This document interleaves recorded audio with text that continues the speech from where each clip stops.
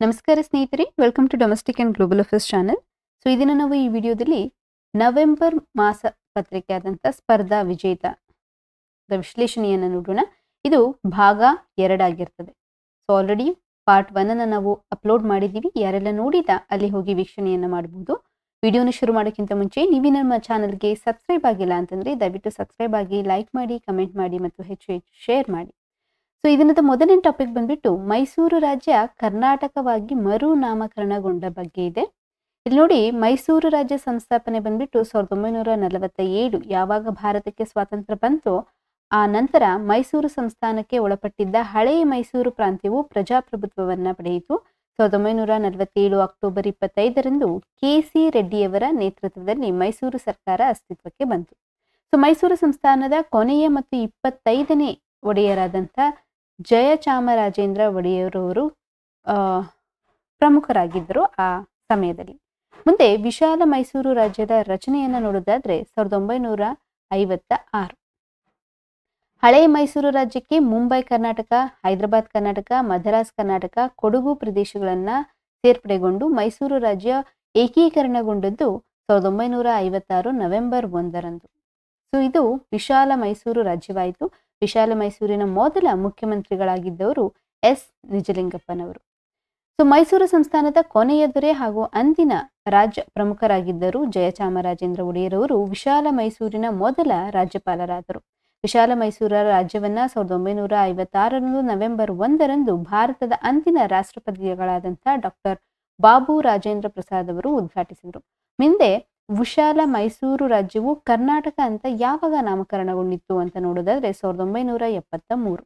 ಮೈಸೂರು ಎಂಬುದು ಒಂದು ನಗರ ಮತ್ತು ರಾಜ್ಯ ಎರಡನ್ನೂ ಪ್ರತಿ ನಿಧಿಸುತ್ತಿತ್ತು ನಿಧಿಸ್ತಿತ್ತು. ಹಾಗಾಗಿ ಖ್ಯಾತ ಕನ್ನಡದ ಸಾಹಿತಿ ಚದುರಂಗ ಅವರ ಸಲಹೆ ಮೇರೆಗೆ ಮೈಸೂರು ರಾಜ್ಯಕ್ಕೆ ಕರ್ನಾಟಕ ಎಂಬ ಹೆಸರನ್ನ ನೀಡಲು ಅಂದಿನ ಮುಖ್ಯಮಂತ್ರಿಗಳು ಡಿ. ದೇವರಾಜ್ ಅರಸವರು ನಿರ್ಧರಿಸಿದ್ದರು.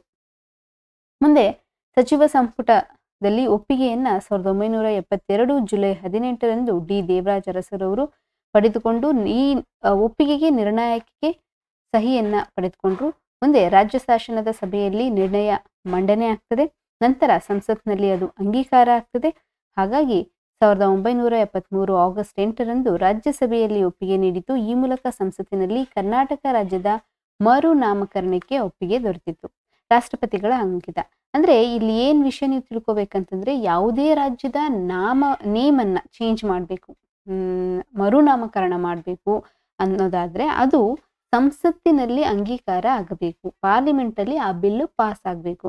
ಮತ್ತೆ ರಾಷ್ಟ್ರಪತಿಗಳು ಅದಕ್ಕೆ ಅಂಕಿತವನ್ನ ಹಾಕಬೇಕು. ಸೊ, ಸಾವಿರದ ಒಂಬೈನೂರ ಎಪ್ಪತ್ತ್ಮೂರು ನವೆಂಬರ್ ಒಂದರಂದು ಮೈಸೂರು ರಾಜ್ಯವನ್ನ ಕರ್ನಾಟಕ ರಾಜ್ಯದಿಂದ ಮನು, ಮರುನಾಮಕರಣ ಮಾಡಲಾಗಿತ್ತು. ಸಾವಿರದ ಒಂಬೈನೂರ ಎಪ್ಪತ್ತ್ಮೂರು ನವೆಂಬರ್ ಒಂದನ್ನ ನಾಮಕರಣದ ಸ್ಮರಣೆಗಾಗಿ ಹಂಪಿಯಲ್ಲಿ ವಿಶೇಷ ಉತ್ಸವ ಜರುಗಿತು. ಸಾವಿರದ ಒಂಬೈನೂರ ಎಪ್ಪತ್ಮೂರು ನವೆಂಬರ್ ಮೂರರಂದು ನಾಮಕರಣದ ಸ್ಮರಣೆಗಾಗಿ ಗದುಗಿನ ವೀರನಾರಾಯಣ ಗುಡಿಯಲ್ಲಿ ಹೊತ್ತಿಸಿದ ಕನ್ನಡದ ಜ್ಯೋತಿಯನ್ನು ನಂದಾದೀಪವನ್ನಾಗಿ ಇರಿಸುವಿಕೆ ಹಾಗೂ ದೇವರಾಜ್ ಅರಸು ಚಾಮರಾಜ ಒಡೆಯರವರು ಸೇರಿದಂತೆ ಕರ್ನಾಟಕಕ್ಕೆ ದುಡಿದವರಿಗೆ ಸಾಂಕೇತಿಕ ನಮನ ಸಲ್ಲಿಸಲಾಯಿತು. ಎರಡ್ ಸಾವಿರದ ಇಪ್ಪತ್ತ್ಮೂರು ನವೆಂಬರ್ ಒಂದಕ್ಕೆ ಮೈಸೂರು ರಾಜ್ಯವು ಕರ್ನಾಟಕ ರಾಜ್ಯ ಅಂತ ಮರುನಾಮಕರಣಗೊಂಡು ಐವತ್ತು ವರ್ಷಗಳು ಆಗಿದೆ. ಹಾಗಾಗಿ ಕರ್ನಾಟಕ ಸರ್ಕಾರವು ಕರ್ನಾಟಕ ಸಂಭ್ರಮ ಐವತ್ತು ಕಾರ್ಯಕ್ರಮವನ್ನು ಹೆಸರಾಯಿತು ಕರ್ನಾಟಕ ಉಸಿರಾಗಲಿ ಕನ್ನಡ ಎಂಬ ಘೋಷವಾಕ್ಯದೊಂದಿಗೆ ಆಚರಿಸುತ್ತಿದೆ.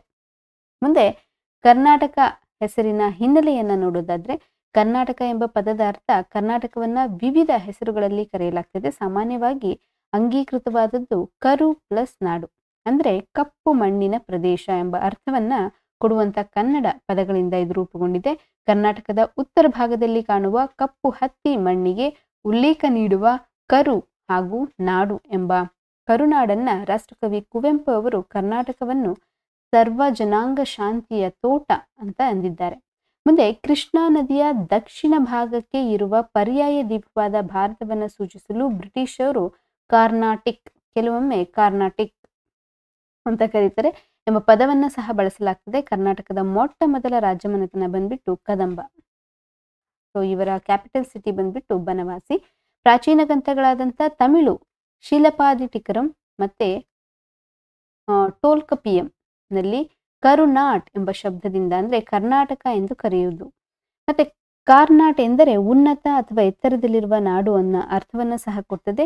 ರಾಷ್ಟ್ರಕೂಟರ ನೃಪತಂಗ ಆಸ್ಥಾನದ ಕವಿ ಶ್ರೀ ವಿಜಯ. ಅಲಂಕಾರ ಮತ್ತು ಲಕ್ಷ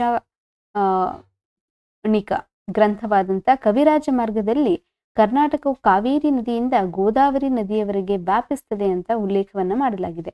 ಮುಂದೆ ಕನ್ನಡದ ಕಣ್ವ ಎಂದು ಕರೆಯಲ್ಪಡುವ ಬಿ ಎಂ ಶ್ರೀಕಂಠಯ್ಯರವರ ಕರ್ನಾಟಕವನ್ನ ಚಿನ್ನದ ನಾಡು ಅಂತ ಕರೆದಿದ್ದಾರೆ. ಬದಾಮಿ ಚಾಲುಕ್ಯರ ಸೈನ್ಯದ ಬಲ ಕರ್ನಾಟ ಬಲ. ಕನ್ನಡ ನಾಡಿನ ಮೊದಲ ಅರಸ ಬಂದ್ಬಿಟ್ಟು ಮಯೂರ ವರ್ಮ. ಇವರು ಕದಂಬರ ಅರಸರಾಗಿರ್ತಾರೆ. ಮುಂದೆ ಕರ್ನಾಟಕ ರಾಜ್ಯದ ಪ್ರಮುಖ ಅದ್ವಿತೀಯ ಸಾಧನೆಗಳ ಪಟ್ಟಿಯನ್ನ ಕೊಟ್ಟಿದ್ದಾರೆ. ಮೊದಲನೆಯದು ಓರ್ವ ಪ್ರಧಾನಮಂತ್ರಿಯನ್ನ ಕರ್ನಾಟಕ ರಾಜ್ಯ ನೀಡಿದೆ.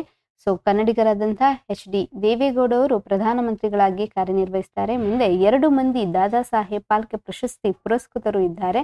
ಡಾಕ್ಟರ್ ರಾಜ್ಕುಮಾರ್ ಅವರು ಮತ್ತೆ ವಿ ಕೆ ಮೂರ್ತಿಯವರು ಸಾಹಿತ್ಯ ಕ್ಷೇತ್ರದ ಸರಸ್ವತಿ ಸಮ್ಮಾನ್ ಪ್ರಶಸ್ತಿ ಪಡೆದ ಇಬ್ಬರು ಕನ್ನಡದ ಸಾಹಿತಿಗಳು ಎಸ್ ಎಲ್ ಭೈರಪ್ಪರವರು, ಮುಂದ್ರ ಅನ್ನುವಂಥ ಕಾದಂಬರಿಗೆ ಮತ್ತು ಎಂ ವೀರಪ್ಪ ಮೊಯ್ಲಿ ಶ್ರೀರಾಮಾಯಣ ಮಹಾನ್ವೇಷಣೆ ಎಂಬ ಕಾದಂಬರಿಗೆ ಎರಡ್ ಸಾವಿರದ ಹತ್ತು ಮತ್ತು ಎರಡ್ ಸಾವಿರದ ಹದಿನಾಲ್ಕರಲ್ಲಿ ಇವರಿಗೆ ಪ್ರಶಸ್ತಿ ದೊರೆತಿದೆ. ಭಾರತ ರತ್ನ ಪುರಸ್ಕೃತ ಮೂರು ಜನ ಕನ್ನಡಿಗರನ್ನ ನೋಡೋದಾದ್ರೆ ಸರ್ ಎಂ ವಿಶ್ವೇಶ್ವರಯ್ಯರವರು, ಹಿಂದೂಸ್ತಾನಿ ಶಾಸ್ತ್ರೀಯ ಸಂಗೀತದ ಭೀಮಸೇನ್ ಜೋಶಿಯವರು ಮತ್ತು ರಸಾಯನ ಶಾಸ್ತ್ರ ವಿಜ್ಞಾನದ ಸಿ ಎನ್ ಆರ್ ರಾವರು ಮತ್ತೆ ಕರ್ನಾಟಕದ ನಾಲ್ಕು ಪಾರಂಪರಿಕ ತಾಣಗಳಾದಂಥ ಯುನೆಸ್ಕೋ ಪಟ್ಟಿಯಲ್ಲಿರುವಂತಹ ಆ, ತಾಣಗಳನ್ನ ನೋಡೋದಾದ್ರೆ ಹಂಪಿ ಪಟ್ಟದಕಲ್ಲು ಪಶ್ಚಿಮ ಘಟ್ ಬಟ್ಟ ಘಟ್ಟಗಳು ಬೇಲೂರು ಹಳೆಬೀಡು ಸೋಮನಾಥಪುರ ದೇವಾಲಯಗಳು ಇದು ಹೊಯ್ಸಳರ ದೇಗುಲಗಳು ಇತ್ತೀಚೆಗೆ ಅಂದ್ರೆ ಈ ವರ್ಷ ಸೇರ್ಪಡೆಗೊಂಡಂತ ಯುನೆಸ್ಕೋ ಪಾರಂಪರಿಕ ತಾಣಗಳು. ಮುಂದೆ ಆರ್ ಬಿ ಐ ಮುದ್ರಣ ಮಾಡುವ ನೋಟಿನ ನೋಟಲ್ಲಿ ಕನ್ನಡ ಭಾಷೆ ಇದೆ. ನೋಟಿನಲ್ಲಿರುವ ಹದಿನೈದು ಪ್ರಾದೇಶಿಕ ಭಾಷೆಗಳಲ್ಲಿ ಕನ್ನಡ ಭಾಷೆ ನಾಲ್ಕನೇ ಸ್ಥಾನದಲ್ಲಿ ಇದೆ.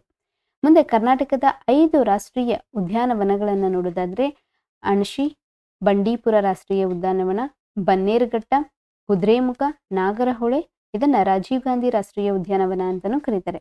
ಮುಂದೆ ಕನ್ನಡಕ್ಕೆ ಎರಡ್ ಸಾವಿರದ ಎಂಟರಲ್ಲಿ ಶಾಸ್ತ್ರೀಯ ಭಾಷೆಯ ಸ್ಥಾನಮಾನವನ್ನ ದೊರೆತಿದೆ ಭಾರತದಲ್ಲಿ ಆರು ಶಾಸ್ತ್ರೀಯ ಸ್ಥಾನಮಾನ ಪಡೆದ ಭಾಷೆಗಳು ತಮಿಳು ಸಂಸ್ಕೃತ, ತೆಲುಗು, ಕನ್ನಡ, ಮಲಯಾಳಂ ಮತ್ತು ಒರಿಯಾ ಮುಂದೆ ಭಾರತದ ಏಳು ಅಣುಸ್ಥಾವರಗಳಲ್ಲಿ ಒಂದು ಅಣುಸ್ಥಾನವು ನಮ್ಮ ಕರ್ನಾಟಕದ ಕೈಗಾದಲ್ಲಿದೆ.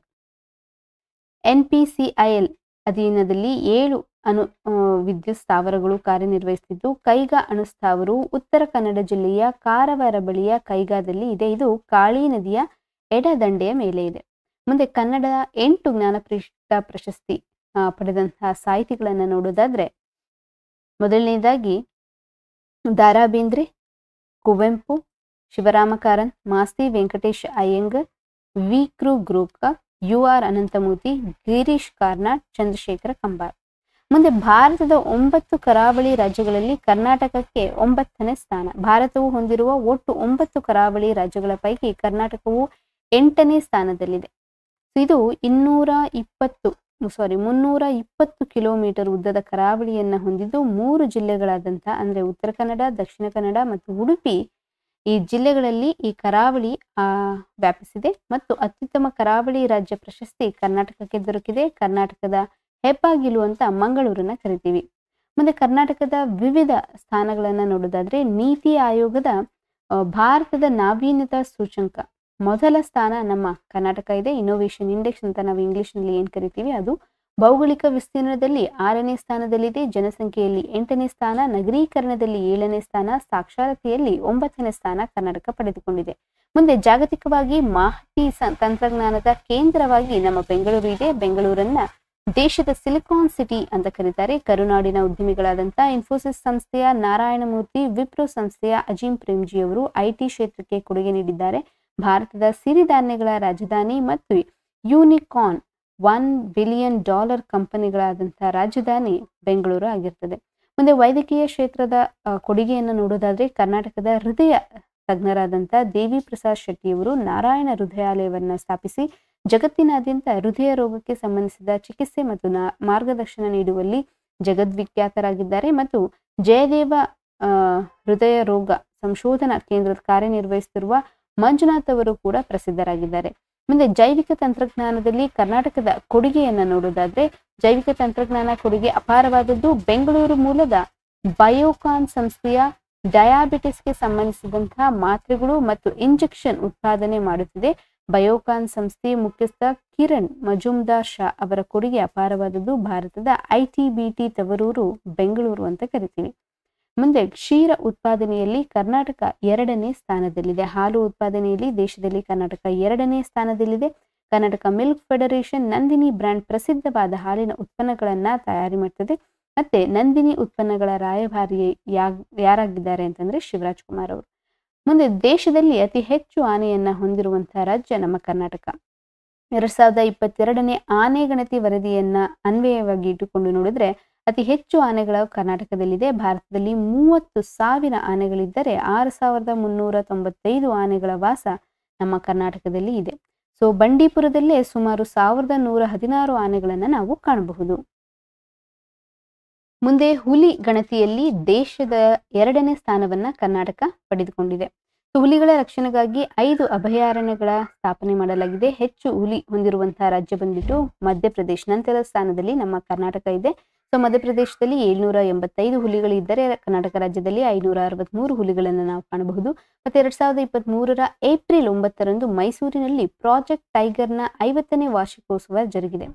ಸೊ, ಬಂಡೀಪುರದಲ್ಲಿ ಸುಮಾರು ನೂರ ತೊಂಬತ್ತ ಒಂದು ಹುಲಿಗಳನ್ನು ಕಾಣಬಹುದು. ದೇಶದಲ್ಲಿ ಅತಿ ಹೆಚ್ಚು ಕಾಫಿ ಬೆಳೆಯುವ ರಾಜ್ಯ ಕರ್ನಾಟಕವಾಗಿದೆ. ಸೊ ಇತ್ತೀಚೆಗೆ ಏಷ್ಯಾದ ಮೊಟ್ಟ ಮೊದಲ ಮತ್ತು ಐದನೇ ಕಾಫಿ ಆವೃತ್ತಿ ಸಮ್ಮೇಳನವು ಬೆಂಗಳೂರಿನಲ್ಲಿ ಜರುಗಿತು. ಇದರ ರಾಯಭಾರಿ ರೋಹನ್ ಬೋಪಣ್ಣರವರು ಆಗಿದ್ರು ಮುಂದೆ ಹಿಂದೂಸ್ತಾನಿ ಏರೋನಾಟಿಕ್ಸ್ ಲಿಮಿಟೆಡ್ ದೇಶದ ರಕ್ಷಣೆಗೆ ಸಂಬಂಧಿಸಿದ ಉತ್ಪನ್ನಗಳನ್ನು ತಯಾರಿಸುವ ಸಂಸ್ಥೆ ನಮ್ಮ ಕರ್ನಾಟಕದಲ್ಲಿದೆ. ಸೇನೆಗೆ ಬೇಕಾಗುವ ಯುದ್ಧ ವಿಮಾನಗಳಾಗಿರ್ಬೋದು ಅಥವಾ ಹೆಲಿಕಾಪ್ಟರ್ಗಳನ್ನ ಬೆಂಗಳೂರು ಮೂಲದ ಎಚ್ ಎಲ್ ಸಂಸ್ಥೆಯು ಉತ್ಪಾದಿಸುತ್ತದೆ.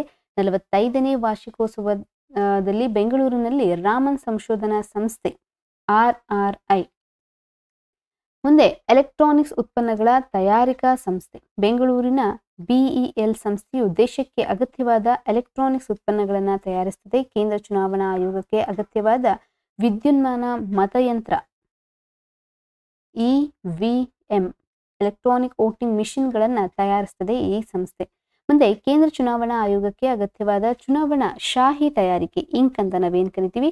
ಸೊ ಚುನಾವಣೆಯಲ್ಲಿ ಮತದಾರರು ಮತದಾನ ಮಾಡಿರುವುದನ್ನ ದೃಢಪಡಿಸುವ ಶಾಹಿಯನ್ನ ಸಿಲ್ವರ್ ನೈಟ್ರೇಟ್ ಅನ್ನ ಬಳಸಿ ನೋಡಿ ಕೆಲವೊಂದ್ಸತಿ ಕೇಳ್ತಾರೆ. ಈ ಇಂಕಿನಲ್ಲಿ ಯಾವ ಒಂದು ಕೆಮಿಕಲ್ ಇರ್ತದೆ ಅಂತ ಸಿಲ್ವರ್ ನೈಟ್ರೇಟ್ ಅನ್ನ ಬಳಸಿ ತಯಾರಿಸುವ ಸಂಸ್ಥೆ ಮೈಸೂರಿನಲ್ಲಿದೆ. ಇಡೀ ದೇಶದ ಚುನಾವಣೆಗೆ ಬೇಕಾದಂತ ಇಂಕನ್ನ ಈ ಸಂಸ್ಥೆ ಒದಗಿಸ್ತದೆ. ಭಾರತದ ಪ್ರಮುಖ ನೋಟ್ ಮುದ್ರಣಾಲಯ ಮತ್ತು C F R T R I. C F T R I ಇದರ ಫುಲ್ ಫಾರ್ಮ್ ಬಂದ್ಬಿಟ್ಟು central food technology research institution ಮೈಸೂರಿನಲ್ಲಿದೆ.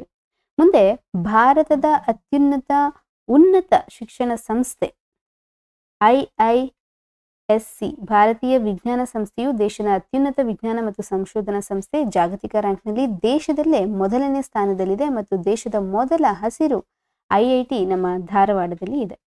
ಮುಂದೆ ದೇಶಕ್ಕೆ ರಾಷ್ಟ್ರಧ್ವಜವನ್ನ ತಯಾರಿಸುವ ಏಕೈಕ ಸಂಸ್ಥೆ ಗರಗ. ಭಾರತ ದೇಶಕ್ಕೆ ರಾಷ್ಟ್ರಧ್ವಜವನ್ನ ಉತ್ಪಾದಿಸುವ ಮತ್ತು ವಿತರಿಸುವ ಏಕೈಕ ಘಟಕವಾದಂತಹ ಖಾದಿ ಗ್ರಾಮೋದ್ಯೋಗ ಸಂಯುಕ್ತ ಸಂಘವು ಹುಬ್ಬಳ್ಳಿ ಧಾರವಾಡ ಬಳಿ ಗರಗದಲ್ಲಿ ಇದೆ. ಮತ್ತೆ ತೊಗರಿ ಉತ್ಪಾದನೆಯಲ್ಲಿ ಮೊದಲ ಸ್ಥಾನದಲ್ಲಿರುವ ನಮ್ಮ ಕರ್ನಾಟಕ ರಾಜ್ಯ. ಕಲಬುರಗಿಯನ್ನ ತೊಗರಿಯ ಕಣಜ ಅಂತ ಕರೀತಾರೆ. ಈ ತೊಗರಿಗೆ ಜಿಐ ಟ್ಯಾಗ್ ಕೂಡ ದೊರೆತಿದೆ. ತೊಗರಿ ಟೆಕ್ನಾಲಜಿ ಪಾರ್ಕ್ ನಾವು ಕಲಬುರಗಿಯಲ್ಲಿ ಕಾಣಬಹುದು. ಇತ್ತೀಚೆಗೆ ಕಲ್ಯಾಣ ಕರ್ನಾಟಕದ ಉತ್ಸವದ ಆತಿಥ್ಯವನ್ನ ಕಲಬುರಗಿ ವಹಿಸಿಕೊಂಡಿತ್ತು. ಮುಂದೆ ಎಪ್ಪತ್ಮೂರನೇ ಸಂವಿಧಾನಾತ್ಮಕ ತಿದ್ದುಪಡಿ ಸಾವಿರದ ಒಂಬೈನೂರ ತೊಂಬತ್ತೆರಡರ ಅನ್ವಯ ಕರ್ನಾಟಕ ಪಂಚಾಯತ್ ರಾಜ್ ಕಾಯ್ದೆಯನ್ನ ಅಂಗೀಕರಿಸಿ ಸ್ಥಳೀಯ ಸಂಸ್ಥೆಗಳಾದಂಥ ಪಂಚಾಯಿತಿಗಳಿಗೆ ಚುನಾವಣೆ ನಡೆಸಿದ ಮೊದಲ ರಾಜ್ಯ ಮತ್ತು ವಿಕೇಂದ್ರೀಕರಣದ ತತ್ವ ಅಳವಡಿಕೆ ಮಾಡಿದಂತಹ ಮೊದಲ ರಾಜ್ಯ ಬಂದ್ಬಿಟ್ಟು ನಮ್ಮ ಕರ್ನಾಟಕ. ಮುಂದೆ ದೇಶದಲ್ಲೇ ಮೊದಲ ಬಾರಿಗೆ ಸೈಬರ್ ಪೊಲೀಸ್ ಠಾಣೆಯನ್ನ ಆರಂಭಿಸಿದ ಮೊದಲ ರಾಜ್ಯ ನಮ್ಮ ಕರ್ನಾಟಕ. ಭಾರತದ ಹೆಮ್ಮೆಯ ಬಾಹ್ಯಾಕಾಶ ಕೇಂದ್ರ ಇಸ್ರೋದ ಕೇಂದ್ರ ಕಚೇರಿ ಕೂಡ ನಮ್ಮ ಬೆಂಗಳೂರಿನಲ್ಲಿದೆ. ಮತ್ತೆ ಇತ್ತೀಚೆಗೆ ಇಸ್ರೋದಿಂದ ಯುವ ವಿಜ್ಞಾನಿಗಳ ಅಭಿವೃದ್ಧಿಗಾಗಿ ಯುವಿಕಾ ಕಾರ್ಯಕ್ರಮ ಆರಂಭವಾಗಿದೆ. ನಿಮಾನ್ಸ್ ಬೆಂಗಳೂರಿನಲ್ಲಿದೆ. ಮಾನಸಿಕ ಆರೋಗ್ಯ ಮತ್ತು ನರರೋಗಗಳ ಶಿಕ್ಷಣ ಸಂಸ್ಥೆಯ ಪರಮೋಚ್ಚ ಸಂಸ್ಥೆಯಾಗಿರುವಂತಹ ನಿಮಾನ್ಸ್ ಸಂಸ್ಥೆಯು ಬೆಂಗಳೂರಿನಲ್ಲಿದೆ. ನಿಮಾನ್ಸ್ ಮತ್ತು ನೀತಿ ಆಯೋಗದ ಸಹಭಾಗಿತ್ವದಲ್ಲಿ ಮೆದುಳು ಆರೋಗ್ಯ ಅಭಿಯಾನ ಆರಂಭವಾಗಿದೆ. ಮುಂದೆ ಸ್ಟಾರ್ಟ್ಅಪ್ಗಳ ತವರೂರು ಕರ್ನಾಟಕ, ಇನ್ಫೋಸಿಸ್, ವಿಪ್ರೋ, ಫ್ಲಿಪ್ಕಾರ್ಟ್ ಕೆಫೆ ಕಾಫಿ ಡೇಗಳಂಥ ಕಂಪನಿಗಳನ್ನು ಮಾತ್ರವಲ್ಲದೆ ಸ್ಟಾರ್ಟ್ಅಪ್ ಕಂಪನಿಗಳನ್ನು ಸಹ ನಾವು ಕರ್ನಾಟಕದಲ್ಲಿ ಕಾಣಬಹುದು. ನವೋದ್ಯಮಗಳಿಗಾಗಿ ಪ್ರತ್ಯೇಕ ಬ್ಯಾಂಕ್ ಖಾತೆಯನ್ನ ಬೆಂಗಳೂರಿನ ಕೋರಮಂಗಲದಲ್ಲಿ ಎಸ್ ಬಿ ಐನಿಂದ ಆರಂಭವಾಗಿದೆ. ಭಾರತದ ಮೊದಲ ತ್ರೀ ಡಿ ಮುದ್ರಿತ ಅಂಚೆ ಕಚೇರಿ ಕೂಡ ನಾವು ಬೆಂಗಳೂರಿನಲ್ಲಿ ಕಾಣಬಹುದು. ಮತ್ತೆ ಬಿ ಟಿ ಎಸ್ ಆತಿಥ್ಯವನ್ನು ಬೆಂಗಳೂರು ವಹಿಸಿಕೊಂಡಿತ್ತು. ಮುಂದೆ ವೀರ ಯೋಧರ ನಾಡು ಕೊಡಗು. ಭಾರತದ ಸೇನೆಗೆ ಅತಿ ಹೆಚ್ಚು ಸೈನಿಕರನ್ನ ಕೊಡುತ್ತಿರುವಂತಹ ತಾಣ ನಮ್ಮ ಕೊಡಗು ಜಿಲ್ಲೆಯಾಗಿದೆ. ಕೊಡಗು ಜಿಲ್ಲೆಯ ಕೆ ಎಂ ಕಾರಿಯಪ್ಪನವರು ಭಾರತೀಯ ಸೇನೆಯ ಮೊದಲ ದಂಡನಾಯಕರಾಗಿ ಕಾರ್ಯನಿರ್ವಹಿಸಿದ್ದಾರೆ. ಮುಂದೆ ಬೆಂಗಳೂರು ಇದನ್ನ ಸಿರಿಧಾನ್ಯಗಳ ರಾಜಧಾನಿ ಅಂತ ಕರಿತೀವಿ. ನವೋದ್ಯಮ ರಾಜಧಾನಿ ಯಲಹಂಕದಲ್ಲಿ ದೇಶದ ಅತಿ ದೊಡ್ಡ ಏರೋ ಇಂಡಿಯಾ ಪ್ರದರ್ಶನವನ್ನ ಇತ್ತೀಚೆಗೆ ನಾವು ನೋಡಬಹುದು. ಅದೇ ದಕ್ಷಿಣದ ತಾಜ್ ಮಹಲ್ ಖ್ಯಾತಿಯ ಗೋಲ ಗುಂಬಜ್. ವಿಜಯಪುರ ಯಾವುದೇ ಕಂಬಗಳ ಆಧಾರವಿಲ್ಲದೆ ನಿರ್ಮಿಸಿರುವಂತಹ ಒಂದು ಸ್ಮಾರಕವನ್ನ ನಾವು ಕಾಣಬಹುದು. ಮತ್ತೆ ಶ್ರವಣ ಬೆಳಗುಳದ ಏಕಶಿಲಾ ಗೊಮ್ಮಟೇಶ್ವರ ವಿಗ್ರಹ. ಏಕಶಿಲೆಯಲ್ಲಿ ನಿರ್ಮಾಣವಾದಂತಹ ಜಗತ್ತಿನ ಎತ್ತರವಾದ ಏಕಶಿಲಾ ವಿಗ್ರಹ ಶ್ರವಣ ಬೆಳಗುಳದಲ್ಲಿದೆ. ಇಲ್ಲಿ ಹನ್ನೆರಡು ವರ್ಷಗಳಿಗೊಮ್ಮೆಗೆ ಮಹಾ ಮಸ್ತಾಭಿಷೇಕ ನಡೆಯುತ್ತದೆ. ಜೈನ ಧಾರ್ಮಿಕ ಕೇಂದ್ರ ಶ್ರವಣ ಬೆಳಗುಳ ಆಗಿದೆ. ಅನೇಕ ರಥೋತ್ಸವಗಳ ತಾಣ ಕರ್ನಾಟಕ. ಅದನ್ನು ಸಹ ನಾವು ಕಾಣಬಹುದು. ಕೊಪ್ಪಳದಲ್ಲಿ ಗವಿಸಿದ್ದೇಶ್ವರವರ ರಥೋತ್ಸವನ್ನ ನಂಜುಂಡಗುಡಿಯಲ್ಲಿ ನಂಜುಂಡೇಶ್ವರ, ನಾಯಕನಹಟ್ಟಿಯಲ್ಲಿ ತಿಪ್ಪೇರುದ್ರಸ್ವಾಮಿ, ಬನಶಂಕರಿ ದೇವಿಯವರ ರಥೋತ್ಸವ, ಸವದತ್ತಿ ಯಲ್ಲಮ್ಮ ದೇವಿಯವರ ಉತ್ಸವಗಳು ಪ್ರಸಿದ್ಧವಾಗಿದೆ ಸಮಾಜ ಸುಧಾರಕ ಬಸವಣ್ಣನವರ ನಾಡು ನಮ್ಮ ಕರ್ನಾಟಕ ಹನ್ನೆರಡನೇ ಶತಮಾನದ ಸಮಾಜ ಸುಧಾರಕ ಮತ್ತು ಅನುಭವ ಮಂಟಪದ ಸಂಸ್ಥಾಪಕ ಬಸವಣ್ಣನವರ ನಾಡು ಕರ್ನಾಟಕವಾಗಿದೆ. ಬಸವಣ್ಣನವರ ಪ್ರತಿಮೆಗಳನ್ನ ಜಗತ್ತಿನಾದ್ಯಂತ ಅನೇಕ ಕಡೆ ಸ್ಥಾಪಿಸಲಾಗಿದೆ. ಉಳುವವನೇ ಭೂಮಿಯ ಒಡೆಯ ಕಾಯ್ದೆ ಜಾರಿಗೆ ತಂದಂತಹ ರಾಜ್ಯ ನಮ್ಮ ಕರ್ನಾಟಕ. ಆ ಸಂದರ್ಭದಲ್ಲಿ ಡಿ. ದೇವರಾಜ ಅರಸರವರು ಮುಖ್ಯಮಂತ್ರಿಗಳಾಗಿದ್ದರು. ಸಾವಿರದ ಒಂಬೈನೂರ ಎಪ್ಪತ್ನಾಲ್ಕರಲ್ಲಿ ಉಳುವವನೇ ಒಡೆಯ ಎಂಬ ಕಾನೂನನ್ನ ಜಾರಿಗೆ ತಂದರು. ಮುಂದಿನ ವಿಷಯ, ಅರವತ್ತೆಂಟನೇ ಕರ್ನಾಟಕ ರಾಜ್ಯೋತ್ಸವ ಪ್ರಶಸ್ತಿ ಪ್ರದಾನ. ಎರಡ್ ಸಾವಿರದ ಇಪ್ಪತ್ತ್ ಮೂರರ ನವೆಂಬರ್ ಒಂದರಿಂದ ಕರ್ನಾಟಕ ರಾಜ್ಯೋತ್ಸವ ಕಾರ್ಯಕ್ರಮವನ್ನ ಆಯೋಜಿಸಲಾಯಿತು. ಈ ಸಂದರ್ಭದಲ್ಲಿ ವಿವಿಧ ಕ್ಷೇತ್ರಗಳಲ್ಲಿ ಗಣನೀಯ ಸೇವೆ ಸಲ್ಲಿಸಿದ ಗಣ್ಯ ವ್ಯಕ್ತಿಗಳನ್ನ ಮತ್ತು ಹತ್ತು ಸಂಸ್ಥೆಗಳನ್ನ ಸೇರಿ ಒಟ್ಟು ಅರವತ್ತೆಂಟು ರಾಜ್ಯೋತ್ಸವ ಪ್ರಶಸ್ತಿಗಳನ್ನ ಕರ್ನಾಟಕ ಸಂಭ್ರಮ ಐವತ್ತು, ರಾಜ್ಯೋತ್ಸವ ಪ್ರಶಸ್ತಿ ಎರಡ್ ಸಾವಿರದ ಇಪ್ಪತ್ತ್ ಮೂರನ್ನ ಮಾನ್ಯ ಮುಖ್ಯಮಂತ್ರಿ ಸಿದ್ದರಾಮಯ್ಯನವರು ಬೆಂಗಳೂರಿನ ರವೀಂದ್ರ ಕಲಾಕ್ಷೇತ್ರದಲ್ಲಿ ನಡೆದಂತಹ ಕಾರ್ಯಕ್ರಮದಲ್ಲಿ ಪ್ರದಾನ ಮಾಡಿದ್ದಾರೆ. ಹತ್ತೊಂಬತ್ತು ವಿಭಾಗದಲ್ಲಿ ನೀಡಲಾದಂತಹ ಅರವತ್ತೆಂಟು ಪ್ರಶಸ್ತಿ, ಹದಿಮೂರು ಮಹಿಳೆಯರು, ಐವತ್ನಾಲ್ಕು ಪುರುಷರು, ಇಬ್ಬರು ಶತಾಯುಷಿಗಳು ಮತ್ತೆ ಒಬ್ಬರು ಮಂಗಳಮುಖಿ ಮತ್ತು ಹತ್ತು ಸಂಘ ಸಂಸ್ಥೆಗಳಿಗೆ ನೀಡಲಾಗಿದೆ. ಸೊ ಇಲ್ಲಿ ಅಷ್ಟೊಂದೇನು ನೆನ್ಪಿಟ್ಕೊಳ್ಳುವಂಥ ಯಾಕಂತಂದರೆ ತುಂಬಾ ಕ್ಷೇತ್ರಗಳಿದೆ ಮತ್ತೆ ತುಂಬಾ ವ್ಯಕ್ತಿಗಳಿದ್ದಾರೆ. ಒಂದು ಸತಿ ನೀವು ಈ ಟೇಬಲ್ ಅನ್ನ ಗೋತ್ರೂ ಮಾಡಿ ನಿಮ್ಗೆ ಏನಾದರೂ ಯಾರ್ದಾರು ಹೆಸರು ಫೆಮಿಲಿಯರ್ ಆಗಿದೆ ನೆನ್ಪಿಟ್ಕೋಬಹುದು ಅನ್ನೋದ್ರಿಂದ ಪಕ್ಷದಲ್ಲಿ ಕೆಲವೊಂದು ಕ್ಷೇತ್ರದಲ್ಲಿ ಕೆಲವೊಂದು ಹೆಸರುಗಳನ್ನು ನೆನ್ಪಿಟ್ಕೊಳ್ಳೋಕ್ಕೆ ಸಾಧ್ಯ ಆದರೆ ನೆನ್ಪಿಟ್ಕೊಳ್ಳೋಕ್ಕೆ ಟ್ರೈ ಮಾಡಿ. ಓಕೆನಾ ಸೊ ಹಾಗಾಗಿ ನಾನು ಈ ಪೇಜನ್ನ ಸ್ಕಿಪ್ ಮಾಡ್ತಿದ್ದೀನಿ. ಸೊ ನೀವು ಟೇಬಲ್ ಅನ್ನು ನೋಡ್ಕೋಬೇಕಂತಂದ್ರೆ ವಿಡಿಯೋನ ಪಾಸ್ ಮಾಡಿಬಿಟ್ಟು ಈ ಟೇಬಲ್ ಅನ್ನ ಒಂದ್ಸತಿ ಕಣ್ಣಾಡಿಸಿ. ಮುಂದೆ ರಾಜ್ಯೋತ್ಸವ ಪ್ರಶಸ್ತಿಗೆ ಆಯ್ಕೆಯಾದಂತ ಹತ್ತು ಸಂಸ್ಥೆಗಳು ಮತ್ತು ಅವುಗಳ ಸಾಧನೆಯನ್ನ ಕೊಟ್ಟಿದ್ದಾರೆ. ಸೊ ಏನು, ಯಾವ ಸಂಸ್ಥೆಗಳು ಮತ್ತು ಸಾಧನೆಯನ್ನ ನೋಡ್ತಾ ಹೋಗೋಣ. ಮೊದಲನೇದಾಗಿ ಮೆಥಿಕ್ ಸೊಸೈಟಿ ಶತಮಾನ ಪೂರೈಸಿರುವ ಬೆಂಗಳೂರಿನ ಕೆಲವೇ ಸಂಸ್ಥೆಗಳಲ್ಲಿ ಮೆಥಿಕ್ ಸೊಸೈಟಿ ಕೂಡ ಒಂದಾಗಿದೆ. ಸೊ ಇದು ಭಾರತದ ಇತಿಹಾಸ, ಧರ್ಮ, ಪ್ರದರ್ಶನ ದರ್ಶನ, ಸಾಹಿತ್ಯ, ಕಲೆ ಇತ್ಯಾದಿ ನಾಗರಿಕತೆ, ಸಂಸ್ಕೃತಿಗೆ ಸಂಬಂಧಪಟ್ಟ ವಿಚಾರಗಳ ಅಧ್ಯಯನವನ್ನು ಮಾಡ್ತದೆ, ಸಂಶೋಧನೆಯನ್ನು ಮಾಡಿ ಅನುಕೂಲ ಕಲ್ಪಿಸುವ ಸಂಸ್ಥೆಯಾಗಿದೆ. ಹಾಗಾಗಿ ಇದಕ್ಕೆ ಈ ಪ್ರಶಸ್ತಿಯನ್ನ ನೀಡಿದ್ದಾರೆ. ಮತ್ತೆ ಇಲ್ಲಿ ನೋಡಿ ಸುಮಾರು ನಲವತ್ತೆರಡು ಸಾವಿರಕ್ಕೂ ಹೆಚ್ಚು ಪುಸ್ತಕಗಳನ್ನ ಈ ಸಂಸ್ಥೆ ಹೊಂದಿದೆ. Epigraphy Karnataka B L Rice ರವರ ಗುಡ್ ಟು ಕರ್ನಾಟಕದಂತಹ ಕೃತಿಗಳನ್ನ ಇಲ್ಲಿ ನಾವು ಗೈಡ್ ಟು ಕರ್ನಾಟಕ ಕೃತಿಗಳನ್ನ ಇಲ್ಲಿ ನಾವು ಕಾಣಬಹುದು. ಮುಂದಿನ ಸಂಸ್ಥೆ ಕಲಾ ಜಗತ್ತು ಚಿನ್ನರ ಬಿಂಬ. ಇದು ಮುಂಬೈನಲ್ಲಿ ಸೊ ಬಟ್ ಈ ಸಂಸ್ಥೆ ಮುಂಬೈನ ಅಷ್ಟೇ ಅಲ್ಲದೆ ವಿವಿಧ ದೇಶಾದ್ಯಂತ ವಿವಿಧ ಭಾಗಗಳಲ್ಲೂ ಸಹ ಕಾರ್ಯವನ್ನು ನಿರ್ವಹಿಸ್ತದೆ ಈ ಸಂಸ್ಥೆಯಲ್ಲಿ ಕನ್ನಡವನ್ನ ಕಲಿಸುತ್ತಾಗ್ತದೆ ಆರರಿಂದ ಹದಿನಾಲ್ಕು ವರ್ಷದ ಮಕ್ಕಳ ಪ್ರತಿಭೆಯನ್ನ ಬೆಳಗಿಸಲು ಈ ಸಂಸ್ಥೆ ಕಾರ್ಯನಿರ್ವಹಿಸ್ತಾ ಇದೆ. ಮುಂದೆ ಕರ್ನಾಟಕ ಸಂಘ, ಇದು ಶಿವಮೊಗ್ಗದಲ್ಲಿದೆ. ಸಾವಿರದ ಒಂಬೈನೂರ ಮೂವತ್ತು ನವೆಂಬರ್ ಎಂಟರಂದು ಸಾಹಿತ್ಯ ಮಿತ್ರರು ಸೇರಿ ಸಾಹಿತ್ಯ ಮತ್ತು ಸಾಂಸ್ಕೃತಿಕ ಚಟುವಟಿಕೆ ಸೇವೆಗಾಗಿ ಕರ್ನಾಟಕ ಸಂಘವನ್ನ ಕಟ್ಟಿದ್ರು. ಸಾವಿರದ ಒಂಬೈನೂರ ನಲವತ್ಮೂರು ಫೆಬ್ರವರಿ ಹನ್ನೊಂದರಂದು ಮಹಾರಾಜ ಚಾಮರಾಜೇಂದ್ರ ಒಡೆಯರ್ ಅವರು ಈ ಕಟ್ಟಡವನ್ನ ಉದ್ಘಾಟಿಸಿದರು. ಹಳೆಯ ಮೈಸೂರು ರಾಜ್ಯದಲ್ಲಿ ಸ್ವಂತ ಕಟ್ಟಡ ಹೊಂದಿದ್ದ ಸಂಘ ಎಂಬ ಕೀರ್ತಿ ಕರ್ನಾಟಕ ಸಂಘಕ್ಕಿದೆ. ಮೈಸೂರು ರಾಜ್ಯವನ್ನ ಕರ್ನಾಟಕ ಅಂತ ಮರುನಾಮಕರಣ ಮಾಡುವಲ್ಲಿ ಈ ಸಂಸ್ಥೆಯ ಪಾತ್ರವನ್ನು ಸಹ ನಾವು ಕಾಣಬಹುದು. ಈ ಸಂಸ್ಥೆಯು ಸಂಘದ ಗೌರವದ ಸದಸ್ಯರಾದಂಥ ಜ್ಞಾನಪೀಠ ಪ್ರಶಸ್ತಿ Kuvempu U R Ananthamurthy, K V Subbaiah, doctor G S ಶಿವರುದ್ರಪ್ಪನವರು, Shambhu Joshi ಇಂತಹ ಸಾಹಿತ್ಯ ಹೆಸರಲ್ಲಿ ಪ್ರತಿ ವರ್ಷ ಪ್ರಶಸ್ತಿಯನ್ನ ಮತ್ತು ಬಹುಮಾನವನ್ನ ನೀಡ್ತಾ ಬರ್ತದೆ. ಮುಂದೆ ಬಿ ಎನ್ ಶ್ರೀರಾಮ್ ಪುಸ್ತಕ ಪ್ರಕಾಶನ, ಬೆಂಗಳೂರು.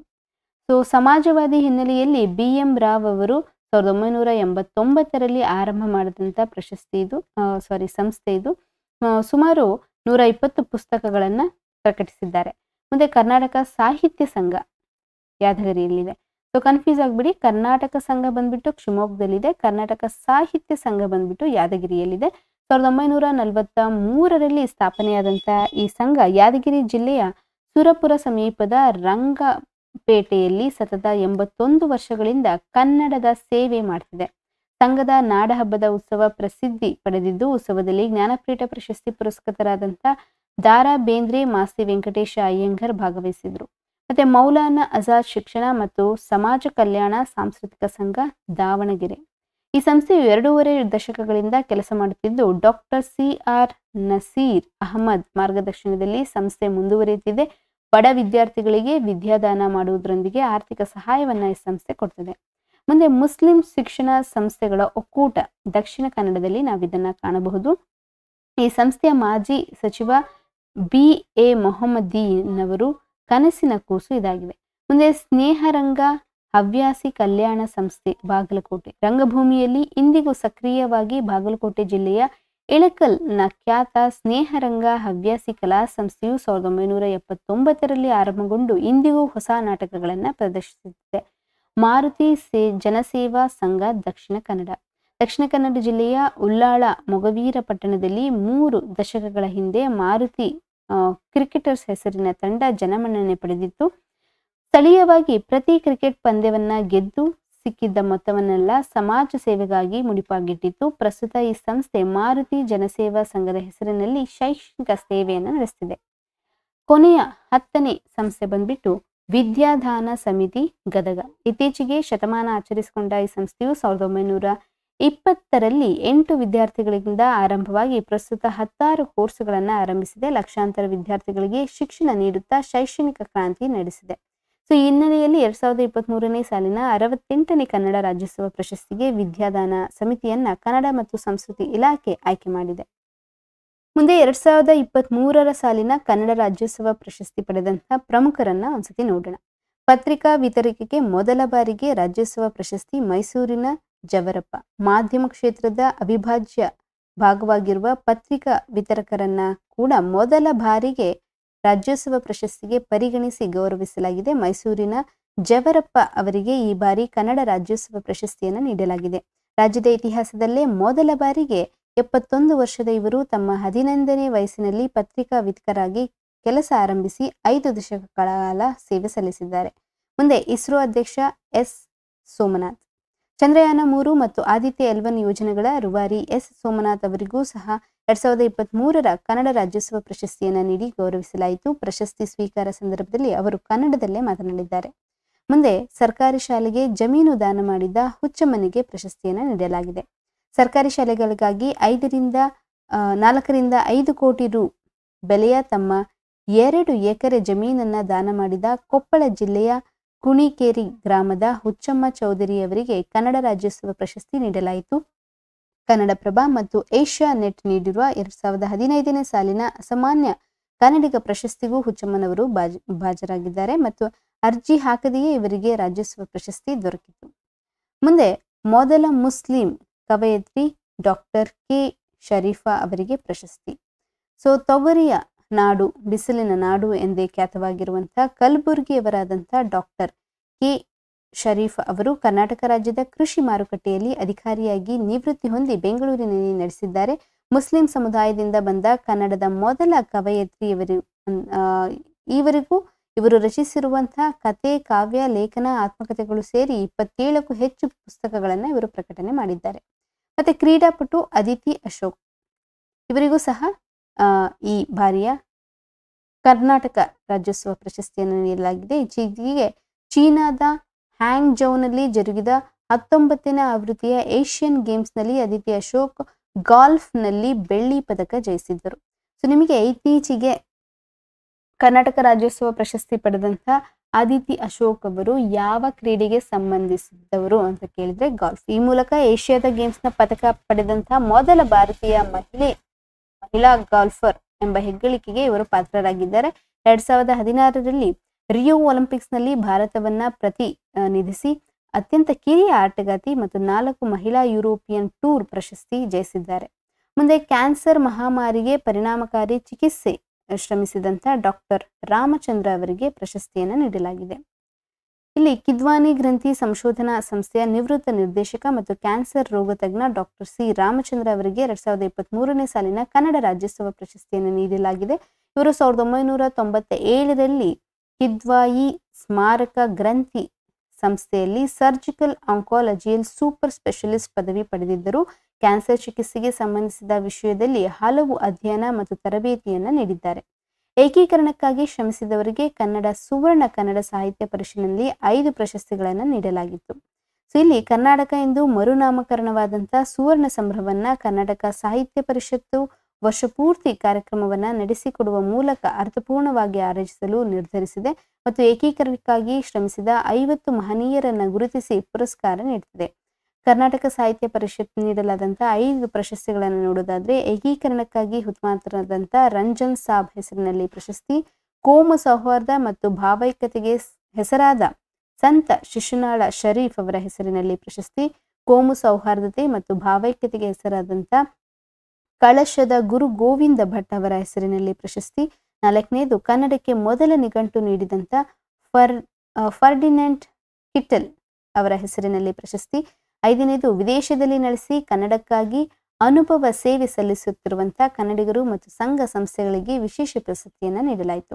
ಮುಂದೆ ಎರಡ್ ಸಾವಿರದ ಇಪ್ಪತ್ತ್ ಮೂರರ ಮೈಸೂರು ದಸರಾ ಕ್ರೀಡಾಕೂಟದ ಪ್ರಮುಖ ಪ್ರಶಸ್ತಿಗಳನ್ನು ನೋಡೋದಾದ್ರೆ ದಸರಾ ಕೇಸರಿ ಗೌರವ. ಉತ್ತರ ಕನ್ನಡದ ರೋಹನ್ ಕುಸ್ತಿಪಟು ಇವರಿಗೆ ದೊರಕಿದೆ ಮತ್ತು ದಸರಾ ಕಿಶೋರ, ದಾವಣಗೆರೆಯ ಕೊರೋವರ ಸಂಜೀವಿ ಮತ್ತು ದಸರಾ ಕಂಠೀರವ ಮುಧೋಳ್ನ ಸುನಿಲ್ ಪಡುತ್ತಾರೆ. ದಸರಾ ಕಿಶೋರಿ ಪ್ರಶಸ್ತಿ ಹಳಿಯಾಳದ ಲಕ್ಷ್ಮಿ ಪಾಟೀಲ್ ಮತ್ತು ಎರಡ್ ಸಾವಿರದ ಇಪ್ಪತ್ತ್ ಮೂರರ ಮೈಸೂರು ದಸರಾ ಪಂಚ ಕುಸ್ತಿ ಬೆಂಗಳೂರಿನ ಬಿ ವಿ ಶ್ರೀನಿವಾಸ್ ಮತ್ತು ಕೆ ಎನ್ ಮಧುರ ಮಂಜುನಾಥ್ ಪವಾರ್ ಮತ್ತು ದಸರಾ ಉದ್ಘಾಟಿಸಿದ ಹಂಸಲೇಖರವರಿಗೆ ಪಿ ಎಚ್ ಡಿ ಗೌರವ. ಎರಡ್ ಸಾವಿರದ ಇಪ್ಪತ್ತ್ ಮೂರರಲ್ಲಿ ಹಂಸಲೇಖರವರ ದೇಶಿ ಸಂಗೀತ ಐದಿನಿ ಸರಿಗಮ ಪದನಿ ಆರಂಭ ಪ್ರಬಂಧಕ್ಕೆ ಮೈಸೂರು ಗಂಗೂಬಾಯಿ ಹಾನಗಲ್ ಸಂಗೀತ ವಿಶ್ವವಿದ್ಯಾಲಯದಿಂದ ಪಿಎಚ್ ಡಿ ಅನ್ನು ನೀಡಿ ಗೌರವಿಸಲಾಗಿದೆ. ಮುಂದಿನ ವಿಷಯ, ಹತ್ತೊಂಬತ್ತನೇ ಆವೃತ್ತಿಯ ಏಷ್ಯನ್ ಗೇಮ್ಸ್ ಚೀನಾದ ಹಾಂಗ್ ಜೌನಲ್ಲಿ ನಡೆದಿದೆ. ಸೊ, ಇಲ್ಲಿ ನೋಡಿ, ಅಂತಾರಾಷ್ಟ್ರೀಯ ಮಟ್ಟದ ಅತಿ ದೊಡ್ಡ ಕ್ರೀಡಾಕೂಟ ಎನಿಸಿದಂಥ ಒಲಿಂಪಿಕ್ಸ್ ಬಳಿಕ ಎರಡನೇ ದೊಡ್ಡ ಕ್ರೀಡಾಕೂಟವೇ ಏಷ್ಯನ್ ಗೇಮ್ಸ್ ಸೊ, ಏಷ್ಯಾ ಖಂಡ ರಾಜ್ಯಗಳ ಕ್ರೀಡಾಪಟುಗಳು ಒಂದೇ ಅಖಾಡದಲ್ಲಿ ತಮ್ಮ ಪ್ರತಿಭೆಯನ್ನು ತೋರಿಸಲು ಅವಕಾಶವಿರುವಂತಹ ಕ್ರೀಡಾಕೂಟ ಇದಾಗಿದೆ. ಪ್ರಸ್ತುತ ಎರಡ್ ಸಾವಿರದ ಇಪ್ಪತ್ತೆರಡರ ಏಷ್ಯನ್ ಗೇಮ್ಸ್ನ ಹತ್ತೊಂಬತ್ತನೇ ಆವೃತ್ತಿಯು ಚೀನಾದ ಹಾಂಗ್ ಜೌನಲ್ಲಿ ಹೃದಯದಿಂದ ಹೃದಯಕ್ಕೆ ಕ್ರೀಡಾ ಬೆಸಿಗೆ heart to heart at future ಎಂಬ ಧ್ಯೇಯ ವಾಕ್ಯದೊಂದಿಗೆ ಎರಡ್ ಸಾವಿರದ ಇಪ್ಪತ್ತ್ ಮೂರರ ಸೆಪ್ಟೆಂಬರ್ ಇಪ್ಪತ್ತ್ ಮೂರರಿಂದ ಅಕ್ಟೋಬರ್ ಎಂಟರವರೆಗೆ ಒಟ್ಟು ಹದಿನಾರು ದಿನಗಳ ಕಾಲ ಜರುಗಿದವು. ಆದರೆ ತಂಡ ಸ್ಪರ್ಧೆಗಳು ಎರಡ್ ಸಾವಿರದ ಇಪ್ಪತ್ತ್ ಮೂರರ ಸೆಪ್ಟೆಂಬರ್ ಹತ್ತೊಂಬತ್ತರಿಂದಲೇ ಚೀನಾ ಹಾಂಗ್ ಜೌನಲ್ಲಿ ಆರಂಭಗೊಂಡವು. ಮುಂದೆ ಎರಡ್ ಸಾವಿರದ ಇಪ್ಪತ್ತ ಎರಡರ ಏಷ್ಯನ್ ಕ್ರೀಡಾಕೂಟದಲ್ಲಿ ಭಾರತವು ನೂರ ಏಳು ಪದಕಗಳನ್ನು ಪಡೆಯುವ ಮೂಲಕ ಪ್ರಸಕ್ತ ಸಾಲಿನ ಏಷ್ಯನ್ ಗೇಮ್ಸ್ನ ಪದಕ ಪಟ್ಟಿಯಲ್ಲಿ ನಾಲ್ಕನೇ ಸ್ಥಾನವನ್ನು ಪಡೆಯಿತು. ಮತ್ತೆ ಪ್ರಸಕ್ತ ಸಾಲಿನ ಏಷ್ಯನ್ ಗೇಮ್ಸ್ನಲ್ಲಿ ಆತಿಥೇಯ ಚೀನಾ ರಾಷ್ಟ್ರವು ಒಟ್ಟು ಮುನ್ನೂರ ಎಂಬತ್ತ ಮೂರು ಚಿನ್ನ ಪದಕಗಳನ್ನು ಪಡೆಯುವುದರ ಮೂಲಕ ಮೊದಲನೇ ಸ್ಥಾನದಲ್ಲಿದೆ. ಹಾಗೆ ಜಪಾನ್ ಎರಡನೇ ಸ್ಥಾನದಲ್ಲಿ ಇದೆ ನೂರ ಎಂಬತ್ತ ಎಂಟು ಪದಕಗಳನ್ನು ಪಡೆದುಕೊಂಡಿದೆ. ಮುಂದೆ ಉದ್ಘಾಟನಾ ಸಮಾರಂಭವನ್ನು ನೋಡೋದಾದ್ರೆ ಬಿಗ್ ಲೋಟಸ್ ಎಂದೇ ಕರೆಸಿಕೊಳ್ಳುವ ಚೀನಾದ ಹಾಂಗ್ಜೌ ಒಲಿಂಪಿಕ್ಸ್ ಸ್ಪೋರ್ಟ್ಸ್ ಸೆಂಟರ್ ಕ್ರೀಡಾಂಗಣದಲ್ಲಿ ಕ್ರೀಡಾಕೂಟದ ಉದ್ಘಾಟನಾ ಸಮಾರಂಭ ಜರುಗಿತು. ಫುಟ್ಬಾಲ್ಗಾಗಿ ಎರಡ್ ಸಾವಿರದ ಹದಿನೆಂಟರಲ್ಲಿ ನಿರ್ಮಾಣವಾದಂಥ ಈ ಕ್ರೀಡಾಂಗಣ ಎಂಬತ್ತು ಸಾವಿರ ಆಸನಗಳ ಸಾಮರ್ಥ್ಯವನ್ನು ಹೊಂದಿದೆ. ಸೊ ಇದೆಲ್ಲ ಅಷ್ಟು ಇಂಪಾರ್ಟೆಂಟ್ ಇಲ್ಲ. ಸೊ ಐ ಆಮ್ ಸ್ಕಿಪಿಂಗ್ ನಿಮ್ಗೆ ಬೇಕಾದ್ರೆ ಪಾಸ್ ಮಾಡಿಬಿಟ್ಟು ನೀವು ಒಂದ್ಸತಿ ಓದ್ಕೊಳ್ಳಿ. ಮುಂದೆ ಉದ್ಘಾಟನಾ ಸಮಾರಂಭದ ಭಾರತದ ಧ್ವಜಧಾರಿಗಳನ್ನು ನೋಡೋಣ. ಭಾರತದ ಪುರುಷರ ಹಾಕಿ ತಂಡದ ನಾಯಕ ಹರ್ಮನ್ ಪ್ರೀತ್ ಸಿಂಗ್ ಅವರು ಎರಡ್ ಸಾವಿರದ ಇಪ್ಪತ್ತರ ಟೋಕಿಯೋ ಒಲಿಂಪಿಕ್ಸ್ ಪದಕ ವಿಜೇತ ಬಾಕ್ಸರ್ ಲವಿನಾ ಬೋರ್ಗೋಹೈನ್ ಅವರ ಉದ್ಘಾಟನಾ ಸಮಾರಂಭದಲ್ಲಿ ಧ್ವಜಧಾರಿಗಳಾಗಿ ಆರುನೂರ ಐವತ್ತೊಂದು ಸದಸ್ಯರ ಭಾರತ ತಂಡವನ್ನ ಮುನ್ನಡೆಸಿದ್ದಾರೆ. ಎರಡ್ ಸಾವಿರದ ಹದಿನೆಂಟರಲ್ಲಿ ಜಗಾರ್ತದಲ್ಲಿ ಜರುಗಿದ ಹದಿನೆಂಟನೇ ಆವೃತ್ತಿಯ ಏಷ್ಯನ್ ಕ್ರೀಡಾಕೂಟದಲ್ಲಿ ಭಾರತ ತಂಡವು ಜಾವ್ಲಿಯನ್ ಪಟು ನೀರಜ್ ಚೋಪ್ರಾರವರು ಭಾರತದ ಧ್ವಜಗಾರಿಗಳಾಗಿ ಮುನ್ನಡೆಸಿದ್ರು. ಅಂದ್ರೆ ಹಿಂದಿನ ವರ್ಷ ಇಂದಿನ ಈ ಈ ಸತಿ ಹತ್ತೊಂಬತ್ತನೇ ಆವೃತ್ತಿ, ಹದಿನೆಂಟನೇ ಆವೃತ್ತಿ ಎಲ್ಲಿ ಜರುಗಿತ್ತು ಅಂತ ಕೊಟ್ಟಿದ್ದಾರೆ. ಆ ಸಂದರ್ಭದಲ್ಲಿ ಯಾರು ಧ್ವಜಧಾರಿಗಳಾಗಿ ಮುನ್ನಡೆದಿದ್ರು ಅನ್ನೋದನ್ನ ಕೊಟ್ಟಿದ್ದಾರೆ. ಎರಡ್ ಸಾವಿರದ ಇಪ್ಪತ್ತೆರಡನೇ ಏಷ್ಯನ್ ಗೇಮ್ಸ್ನಲ್ಲಿ ಭಾರತ, ಭಾರತದ ಕ್ರೀಡಾಪಟುಗಳು ಎರಡ್ ಸಾವಿರದ ಇಪ್ಪತ್ತೆರಡರ ಏಷ್ಯನ್ ಗೇಮ್ಸ್ನಲ್ಲಿ ನೂರ ಏಳು ಪದಕ ಗಳಿಸಿದೆ. ಶೂಟಿಂಗ್ ವಿಭಾಗದಲ್ಲಿ ಇಪ್ಪತ್ತೆರಡು, ಅಥ್ಲೆಟಿಕ್ಸ್ ವಿಭಾಗದಲ್ಲಿ ಇಪ್ಪತ್ತೊಂಬತ್ತು ಅರ್ಚರ್ ವಿಭಾಗದಲ್ಲಿ ಒಂಬತ್ತು ಸ್ಕ್ವಾಶ್ ವಿಭಾಗದಲ್ಲಿ ಐದು ಮತ್ತು ಮಹಿಳಾ ಕ್ರೀಡಾಪಟುಗಳು ನಲವತ್ತಾರು ಸೇರಿ ಮಿಶ್ರ ವಿಭಾಗದಲ್ಲಿ ಒಂಬತ್ತು ಪದಗಳು, ಒಟ್ಟು ನೂರ ಏಳು ಪ್ರಶಸ್ತಿಗಳನ್ನು ಭಾರತ ಪಡೆದುಕೊಂಡಿದೆ. ನೆಕ್ಸ್ಟು ಸಮಾರೋಪ ಸಮಾರಂಭ. ಎರಡ್ ಸಾವಿರದ ಇಪ್ಪತ್ತ್ಮೂರರ ಅಕ್ಟೋಬರ್ ಎಂಟರಂದು ಹತ್ತೊಂಬತ್ತನೇ ಆವೃತ್ತಿ ಏಷ್ಯನ್ ಗೇಮ್ಸ್ಗಳು ವೈಭವಿತವಾಗಿ ತೆರೆ ಕಂಡಿತು ಉದ್ಘಾಟನಾ ಸಮಾರಂಭದ ಸಮಾರಂಭದಲ್ಲಿದ್ದಂತೆ ಸಮಾರೋಪ ಸಮಾರಂಭದಲ್ಲಿಯೂ ಚೀನಾ ತನ್ನ ತಾಂತ್ರಿಕ ಮತ್ತು ಸಂಸ್ಕೃತಿಯನ್ನು ಪ್ರದರ್ಶಿಸಿತು. ದೊಡ್ಡ ಕಮಲದ ಆಕಾರದ ಸ್ಟೇಡಿಯಂನಲ್ಲಿ ಎಪ್ಪತ್ತೈದು ನಿಮಿಷಗಳ ಕಾಲ ಸಮಾರೋಪ ಸಮಾರಂಭ ಜರುಗಿದ್ದು, ಏಷ್ಯನ್ ಒಲಿಂಪಿಕ್ ಕೌನ್ಸಿಲ್ ಮುಖ್ಯಸ್ಥ ಮತ್ತು ಭಾರತೀಯ ರಣಧೀರ್ ಸಿಂಗ್ ಏಷ್ಯನ್ ಗೇಮ್ಸ್ನ ಹತ್ತೊಂಬತ್ತನೇ ಆವೃತ್ತಿ ಮುಕ್ತಾಯವನ್ನು ಘೋಷಿಸಿದರು. ಎರಡ್ ಸಾವಿರದ ಇಪ್ಪತ್ತ ಆರನೇ ಇಪ್ಪತ್ತನೇ ಆವೃತ್ತಿ ಏಷ್ಯನ್ ಗೇಮ್ಸ್ಗಳ ಆತಿಥ್ಯವನ್ನು ವಹಿಸಲಿರುವ ಜಪಾನ್ ಆಚಿ ನಗೋಯಾದ ಗವರ್ನರ್ಗೆ ಏಷ್ಯನ್ ಒಲಿಂಪಿಕ್ಸ್ ಕೌನ್ಸಿಲ್ ಧ್ವಜವನ್ನ ಹಸ್ತಾಂತರಿಸಲಾಯಿತು. ಸಮಾರೋಪ ಸಮಾರಂಭದಲ್ಲಿ ಭಾರತದ ತ್ರಿವರ್ಣ ಧ್ವಜಧಾರಿ ಪಿ ಆರ್ ಶ್ರೀಜೇಶ್, ಹಾಕಿ ತಂಡದ ಗೋಲ್ ಕೀಪರ್ ಅವರು. ಸೊ ಇವರು ಈ ಸಮಾರೋಪ ಸಮಾರಂಭದಲ್ಲಿ ಧ್ವಜಧಾರಿಯಾಗಿದ್ರು. ಸೊ ಮುಂದೆ ಏಷ್ಯನ್ ಗೇಮ್ಸ್ ಕ್ರೀಡಾಕೂಟದ ಹಿನ್ನೆಲೆಯನ್ನ, ಇತಿಹಾಸವನ್ನ ನೋಡೋದಾದ್ರೆ ಏಷ್ಯಾ ರಾಷ್ಟ್ರಗಳು ಕ್ರೀಡಾ ಪ್ರತಿಭೆಯನ್ನ ಪ್ರದರ್ಶಿಸಲು ಆರಂಭಿಸಲಾದಂತ ಕ್ರೀಡಾಕೂಟ ಇದಾಗಿದೆ. ಏಷ್ಯನ್ ಗೇಮ್ಸ್ಗಳು ಒಲಿಂಪಿಕ್ ನಂತರ ಎರಡನೇ ಅತಿ ದೊಡ್ಡ ಕ್ರೀಡಾಕೂಟ ಆಗಿದೆ. ಪ್ರತಿ ನಾಲ್ಕು ವರ್ಷಗಳಿಗೊಮ್ಮೆ ಏಷ್ಯನ್ ಗೇಮ್ಸ್ ಆಯೋಜಿಸಲಾಗ್ತದೆ. ಸಾವಿರದ ಒಂಬೈನೂರ ಐವತ್ತೊಂದರಿಂದ ಇದುವರೆಗೆ ಹತ್ತೊಂಬತ್ತು ಏಷ್ಯನ್ ಕ್ರೀಡಾಕೂಟಗಳು ಆಯೋಜನೆ ಮಾಡಲಾಗಿದೆ. ಮೊದಲ ಏಷ್ಯಾದ ಕ್ರೀಡಾಕೂಟದ ಆತಿಥ್ಯವನ್ನ ನಮ್ಮ ಭಾರತ ವಹಿಸಿಕೊಂಡಿತ್ತು ನವದೆಹಲಿ. ಸಾವಿರದ ಒಂಬೈನೂರ ಐವತ್ತೊಂದರಲ್ಲಿ ಮೊದಲ ಬಾರಿಗೆ ನವದೆಹಲಿಯಲ್ಲಿ ಮೊದಲ ಏಷ್ಯನ್ ಕ್ರೀಡಾಕೂಟವನ್ನ ಆಯೋಜಿಸಲಾಗಿತ್ತು. ಮೊದಲ ಏಷ್ಯಾದಲ್ಲಿ ಹನ್ನೊಂದು ರಾಜ್ಯಗಳು ಭಾಗವಹಿಸಿದ್ದವು. ನವದೆಹಲಿಯ ನ್ಯಾಷನಲ್ ಸ್ಟೇಡಿಯಂ ಪ್ರಸ್ತುತ ಮೇಜರ್ ಧ್ಯಾನ್ಚಂದ್ ನ್ಯಾಷನಲ್ ಸ್ಟೇಡಿಯಂ ಅಂತ ಇದನ್ನು ಕರೀತಾರೆ. ಸೊ ಅಂದಿನ ಭಾರತದ ರಾಷ್ಟ್ರಪತಿಗಳಾದಂಥ ಡಾಕ್ಟರ್ ಬಾಬು ರಾಜೇಂದ್ರ ಪ್ರಸಾದ್ ಅವರು ಉದ್ಘಾಟನೆಯನ್ನ ಮಾಡಿದ್ರು. ಮುಂದೆ ಎರಡನೇ ಬಾರಿ ಏಷ್ಯಾ ಆ, ಗೇಮ್ಸ್ನ ಆತಿಥ್ಯವನ್ನ ವಹಿಸ್ ಭಾರತ ವಹಿಸಿಕೊಂಡಿತ್ತು. ಭಾರತವು ಇದುವರೆಗೆ ಎರಡು ಬಾರಿ ಏಷ್ಯನ್ ಗೇಮ್ಸ್ನ ಆಯೋಜನೆ ಮೊದಲನೇ ಬಾರಿಗೆ ಸಾವಿರದ ಒಂಬೈನೂರ ಐವತ್ತೊಂದರಲ್ಲಿ ನಂತರ ಎರಡನೇ ಬಾರಿಗೆ ಸಾವಿರದ ಒಂಬೈನೂರ ಎಂಬತ್ತ ಎರಡರಲ್ಲಿ ಎರಡು ಸಹ ನವದೆಹಲಿಯಲ್ಲಿ ಆಯೋಜನೆಗೊಂಡಿತ್ತು. ಮೂರನೇ ಬಾರಿ ಏಷ್ಯನ್ ಗೇಮ್ಸ್ನ ಆತಿಥ್ಯವನ್ನ ವಹಿಸಿತ್ತು ಚೀನಾ. ಸೊ ಮೂರು ಬಾರಿ. ಓಕೆ ಮೊದಲನೇ ಬಾರಿ ಸಾವಿರದ ಒಂಬೈನೂರ ತೊಂಬತ್ತು ಬೀಜಿಂಗ್ನಲ್ಲಿ, ಎರಡ್ ಸಾವಿರದ ಹತ್ತರಲ್ಲಿ ಗುವಾಂಗ್ ಜೌನಲ್ಲಿ ಎರಡ್ ಸಾವಿರದ ಇಪ್ಪತ್ತೆರಡರಲ್ಲಿ ಹಾಂಗ್ ಜೌನಲ್ಲಿ ಮತ್ತೆ ಅತಿ ಹೆಚ್ಚು ಬಾರಿ ಆತಿಥ್ಯವನ್ನ ವಹಿಸಿದಂಥ ರಾಷ್ಟ್ರ ಬಂದ್ಬಿಟ್ಟು ಥೈಲ್ಯಾಂಡ್. ಸೊ ಟೋಟಲ್ ನಾಲ್ಕು ಬಾರಿ ಥೈಲ್ಯಾಂಡ್ ಆತಿಥ್ಯವನ್ನ ವಹಿಸಿಕೊಂಡಿದೆ. ಸಾವಿರದ ಒಂಬೈನೂರ ಅರವತ್ತಾರು, ಸಾವಿರದ ಒಂಬೈನೂರ ಎಪ್ಪತ್ತು, ಸಾವಿರದ ಒಂಬೈನೂರ ಎಪ್ಪತ್ತೆಂಟು, ಸಾವಿರದ ಒಂಬೈನೂರ ತೊಂಬತ್ತ ಎಂಟರಲ್ಲಿ ಸೊ ಏಷ್ಯನ್ ಗೇಮ್ಸ್ಗಳ ಹತ್ತೊಂಬತ್ತನೇ ಆವೃತ್ತಿ ಎರಡ್ ಸಾವಿರದ ಇಪ್ಪತ್ತೆರಡರಲ್ಲಿ ಜರುಗಬೇಕಾಗಿತ್ತು. ಆದರೆ ಕೋವಿಡ್ ಹತ್ತೊಂಬತ್ತರ ಹಿನ್ನೆಲೆಯಲ್ಲಿ ಎರಡ್ ಸಾವಿರದ ಇಪ್ಪತ್ತ್ ಮೂರರಲ್ಲಿ ಚೀನಾದ ಹಾಂಗ್ ಜೌನಲ್ಲಿ ಜರುಗಿದವು. ಮುಂದೆ ಎರಡ್ ಸಾವಿರದ ಇಪ್ಪತ್ತೆರಡರ ಏಷ್ಯನ್ ಗೇಮ್ಸ್ನಲ್ಲಿ ಭಾಗವಹಿಸಿ ಪದಕ ಪಡೆದ ಕನ್ನಡದ ಕ್ರೀಡಾಪಟುಗಳು. ಸೊ ರೋಹನ್ ಬೋಪಣ್ಣ, ಚಿನ್ನವನ್ನು ಪಡೆದುಕೊಂಡಿದ್ದಾರೆ. ಟೆನ್ನಿಸ್ ಮಿಶ್ರ ಡಬಲ್ಸ್ನಲ್ಲಿ. ಸೊ ಇಷ್ಟು ನೋಡಿಕೊಂಡ್ರೆ ಸಾಕು. ಯಾವ ಆಟಕ್ಕೆ ಮತ್ತೆ ಯಾವ ಪ್ರಶಸ್ತಿ? ಸೊ ರೋಹನ್ ಬೋಪನ್ ಅವರು ಬೆಂಗಳೂರಿನಲ್ಲಿ ನಡೆದ ಐದನೇ ವಿಶ್ವ ಕಾಫಿ ಸಮ್ಮೇಳನದ ರಾಯಭಾರಿಯಾಗಿ ಸಹ ಆಗಿದ್ದು, ಮತ್ತೆ ಶೂಟರ್ ದಿವ್ಯಾ ಟಿ ಎಸ್ ಎರಡು ಬೆಳ್ಳಿ ಪದಕಗಳನ್ನು ಪಡೆದುಕೊಂಡಿದ್ದಾರೆ. ಇವರು ಶೂಟಿಂಗ್ ಅಂದರೆ ಶೂಟಿಂಗ್ ಒಂದು ಕ್ರೀಡೆಯಲ್ಲಿ ಪದಕವನ್ನು ಪಡೆದುಕೊಂಡಿದ್ದಾರೆ. ಮತ್ತೆ ಗಾಲ್ಫ್ ಆಟಗಾರ್ತಿ ಅದಿತಿ ಅಶೋಕ್ ಬೆಳ್ಳಿ ಪದಕವನ್ನು ಪಡೆದುಕೊಂಡಿದ್ದಾರೆ. ಮಿಥುನ್ ಮಂಜುನಾಥ್ ಬ್ಯಾಡ್ಮಿಂಟನ್ನಲ್ಲಿ ಬೆಳ್ಳಿಯನ್ನು ಪಡೆದುಕೊಂಡಿದ್ದಾರೆ. ಸಾಯಿ ಪ್ರತೀಕ್ ಬ್ಯಾಡ್ಮಿಂಟನ್ನಲ್ಲಿ ಬೆಳ್ಳಿ ಪದಕವನ್ನು ಪಡೆದುಕೊಂಡಿದ್ದಾರೆ. ಮತ್ತೆ ಕರ್ನಾಟಕ ರಾಜ್ಯಕ್ಕೆ ಮೊದಲ ಚಿನ್ನ ಗೆದ್ದುಕೊಟ್ಟಂಥ ರಾಜೇಶ್ವರಿ ಗಾಯಕ್ವಾಡ್. ಕರ್ನಾಟಕದಿಂದ ಏಷ್ಯನ್ ಕಣದಲ್ಲಿ ರಾಜೇಶ್ವರಿ ಗಾಯಕ್ವಾಡ್ ಅವರ ಮೊದಲ ಪದಕ ವಿಜೇತೆ ಎನಿಸಿದ್ದಾರೆ. ಭಾರತದ ಮಹಿಳಾ ಕ್ರಿಕೆಟ್ ತಂಡದ ಪರ ಸ್ವರ್ಣ ಪದಕ ಗೆದ್ದು ಸಂಭ್ರಮಿಸಿದ್ದರು. ವಿಜಯಪುರದ ಸ್ಪಿನ್ನರ್ ರಾಜೇಶ್ವರಿ ಗಾಯಕ್ವಾಡ್ ಅವರು ಇಪ್ಪತ್ತು ರನ್ಗೆ ಎರಡು ವಿಕೆಟ್ ಕಬಳಿಸಿ ಗಮನ ಸೆಳೆದರು ಮತ್ತು ಏಷ್ಯನ್ ಗೇಮ್ಸ್ನಲ್ಲಿ ಇದೇ ಮೊದಲ ಬಾರಿಗೆ ಕ್ರಿಕೆಟ್ ಅನ್ನ ಸೇರ್ಪಡೆ ಮಾಡಲಾಗಿತ್ತು. ಇದು ಇಂಪಾರ್ಟೆಂಟ್. ಸೊ, ಮುಂದೆ ಎರಡ್ ಸಾವಿರದ ಇಪ್ಪತ್ತೆರಡನೇ ಏಷ್ಯನ್ ಕ್ರೀಡಾಕೂಟದ ಪದಕಗಳ ಪಟ್ಟಿ, ಯಾವೆಲ್ಲ ದೇಶಗಳು ಎಷ್ಟು ಎಷ್ಟು ಪದಕಗಳನ್ನು ಪಡೆದುಕೊಂಡಿದೆ ಅಂತ ಲಿಸ್ಟ್ ಅನ್ನ ಕೊಟ್ಟಿದ್ದಾರೆ. ಸೊ, ಭಾರತದ ಲಿಸ್ಟ್ ಈ ತರ ಇದೆ. ಚಿನ್ನ ಇಪ್ಪತ್ತೆಂಟು, ಬೆಳ್ಳಿ ಮೂವತ್ತ ಎಂಟು, ಕಂಚು ನಲವತ್ತೊಂದು, ಟೋಟಲ್ ನೂರ ಏಳು. ಅತಿ ಹೆಚ್ಚು ಪದಕಗಳನ್ನು ಪಡೆದುಕೊಂಡು ಮೊದಲನೇ ಸ್ಥಾನದಲ್ಲಿ ಚೀನಾ, ಎರಡನೇ ಸ್ಥಾನದಲ್ಲಿ ಜಪಾನ್, ಮೂರನೇ ಸ್ಥಾನದಲ್ಲಿ ದಕ್ಷಿಣ ಕೊರಿಯಾ ಮತ್ತು ನಾಲ್ಕನೇ ಸ್ಥಾನದಲ್ಲಿ ಭಾರತವನ್ನು ನಾವು ಕಾಣಬಹುದು. ಎರಡ್ ಸಾವಿರದ ಇಪ್ಪತ್ತೆರಡರ ಏಷ್ಯನ್ ಗೇಮ್ಸ್ನಲ್ಲಿ ಪದಕ ಗೆದ್ದವರಲ್ಲಿ ನಲವತ್ತು ಮಂದಿ ಖೇಲೋ ಇಂಡಿಯಾದ ಪ್ರತಿಭೆಗಳು. ಈ ಬಾರಿ ಏಷ್ಯನ್ ಗೇಮ್ಸ್ನಲ್ಲಿ ಪಾಲ್ಗೊಂಡವರ ಪೈಕಿ ನೂರ ಇಪ್ಪತ್ತೈದು ಮಂದಿ ಖೇಲೋ ಇಂಡಿಯಾದಿಂದ ಗುರುತಿಸಲ್ಪಟ್ಟವರು. ಖೇಲೋ ಇಂಡಿಯಾ ಪ್ರತಿಭೆಗಳು ನಲವತ್ತು ಪದಕಗಳನ್ನು ಗೆದ್ದಿದ್ದಾರೆ. ಸೊ ಮುಂದಿನ ಮತ್ತು ಇಪ್ಪತ್ತನೇ ಆವೃತ್ತಿ ಏಷ್ಯನ್ ಗೇಮ್ಸ್ಗೆ ಜಪಾನ್ ದೇಶದ ಅಚಿ ನಗೋಯಾದಲ್ಲಿ ಎರಡ್ ಸಾವಿರದ ಇಪ್ಪತ್ತ ಆರು ಸೆಪ್ಟೆಂಬರ್ ಇಪ್ಪತ್ತಾರರಿಂದ ಅಕ್ಟೋಬರ್ ಆ ನಾಲ್ಕರವರೆಗೆ ಇಪ್ಪತ್ತನೇ ಆವೃತ್ತಿ ಜರುಗಲಿದೆ. ಏಷ್ಯನ್ ಗೇಮ್ಸ್ನಲ್ಲಿ ಭಾರತವನ್ನು ನೋಡೋದಾದ್ರೆ ಭಾರತ ಇದುವರೆಗೆ ಹತ್ತೊಂಬತ್ತು ಕ್ರೀಡಾಪಟುಗಳಲ್ಲಿ ಭಾಗವಹಿಸಿದ್ದು ಒಟ್ಟು ಏಳ್ನೂರ ಎಪ್ಪತ್ತ ಒಂಬತ್ತು ಪದಕಗಳನ್ನು ಪಡೆದಿದೆ. ಇದರಲ್ಲಿ ಚಿನ್ನ ನೂರ ಎಂಬತ್ಮೂರು ಬೆಳ್ಳಿ ಇನ್ನೂರ ಮೂವತ್ತೆಂಟು, ಕಂಚು ಮುನ್ನೂರ ಐವತ್ತೆಂಟು. ಅಂದ್ರೆ ಟೋಟಲ್ ಹತ್ತೊಂಬತ್ತು ಆವೃತ್ತಿಗಳನ್ನು ಸೇರಿಸಿ ಇಲ್ಲಿ ಹೇಳ್ತಿದ್ದಾರೆ.